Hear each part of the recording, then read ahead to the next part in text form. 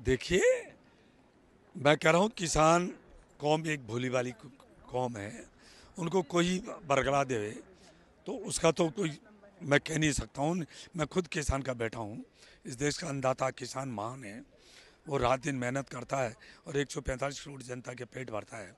कोई भी बातचीत है तो कोई समस्या है तो बैठकर बात करें बात करें तो हर समस्या का समाधान यदि निकल, कोई निकलने वाला है तो निकल सकता है इस तरह का मुझे तो अभी भी संज्ञान में आया है परंतु मैं इतना कह सकता हूँ कि 2014 से लेकर अब तक जो किसानों के लिए किसान हित के लिए प्रधानमंत्री मोदी जी के नेतृत्व में जो हुआ है चाहे किसान सम्मान निधि बढ़ाने की बात हो चाहे किस, किसान किसान सम्मान निधि देने की बात हो चाहे एमएसपी बढ़ाने की बात हो अनेक किसान के हित के लिए जो प्रधानमंत्री मोदी जी के नेतृत्व में काम है। इसलिए मैं तो इतना ही अन्नदाता किसानों से निवेदन करना चाहूँगा। आप बैठ कर बातचीत करिए। क्या समस्या यदि समस्या का हल होने वाला है तो ज़रूर करेंगे। आप उनको बातचीत का आमंत्रण दे रहे हैं? मैं कह रहा हूँ हमारे तो कोई संज्ञान में आया ही नहीं है। जो भी क्या उनकी समस्या है कभी कोई हमारे मंत्रालय में तो कोई बात आई नहीं है ऐसी। यदि अगर कोई बात इस तरह की करेंगे तो हम उनसे ज़रूर बात करने के लिए तैयार हैं। हम तो हम उनको बुलाए नहीं हम खुद उनके बीच में जाने के लिए तैयार हैं। क्योंकि वो भी हमारे भाई हैं।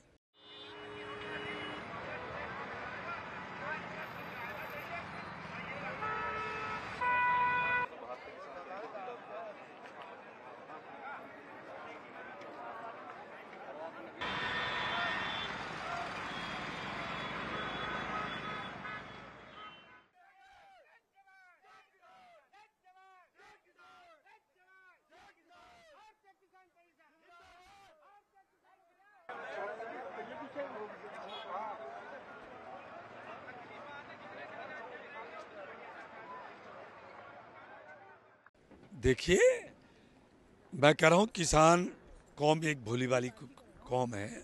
उनको कोई बरगला देवे तो उसका तो कोई, मैं कह नहीं सकता हूँ। मैं खुद किसान का बैठा हूँ। इस देश का अन्नदाता किसान महान है।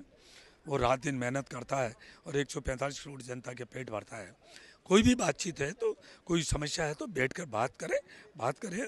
तो हर समस्या का समाधान यदि निकल, कोई निकलने वाला है तो निकल सकता है। इस तरह का मुझे तो अभी भी संज्ञान में आया है, परंतु मैं इतना कह सकता हूँ कि 2014 से लेकर अब तक जो किसानों के लिए, किसान हित के लिए प्रधानमंत्री मोदी जी के नेतृत्व में जो हुआ है, चाहे किसान सम्मान निधि बढ़ाने की बात हो, चाहे किसान किसान सम्मान निधि देने की बात हो, चाहे एमएसपी बढ़ाने की बात हो, अनेक किसान के हित के लिए जो प्रधानमंत्री मोदी जी के नेतृत्व में काम है।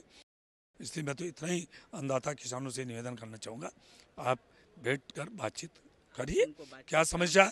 यदि समस्या का हल होने वाला है तो ज़रूर करेंगे। आप उनको बातचीत का आमंत्रण दे रहे हैं? मैं कह रहा हूँ हमारे तो कोई संज्ञान में आया ही नहीं है। जो भी क्या उनकी समस्या है कभी कोई हमारे मंत्रालय में तो कोई बात आई नहीं है ऐसी। यदि अगर कोई बात इस तरह की आती करेंगे तो हम उनसे ज़रूर बात करने के लिए तैयार हैं।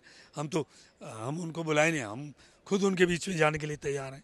क्योंकि वो भी हमारे भाई हैं।